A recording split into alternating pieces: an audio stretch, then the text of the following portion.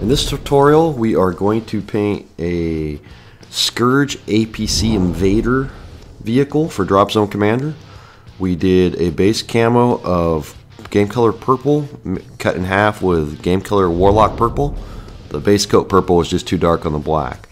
And then we proceeded to dry brush the entire model in chainmail metallic.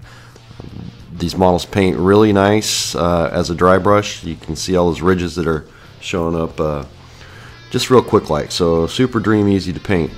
Here we're adding the metallic gold to the vents on the sides of the vehicle. Same deal, you want to use a, a smaller dry brush and just let the brush drag across the ventings on the side of the vehicle.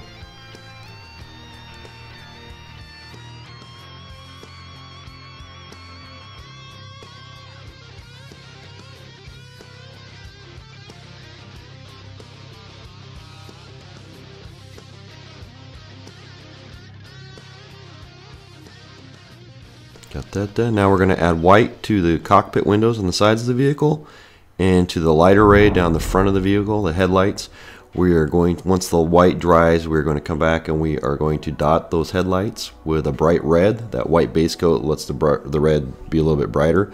And same with the windows. We're, we're going to come back with a green and then we're going to probably do like a green, half green, half yellow mix and highlight the windows.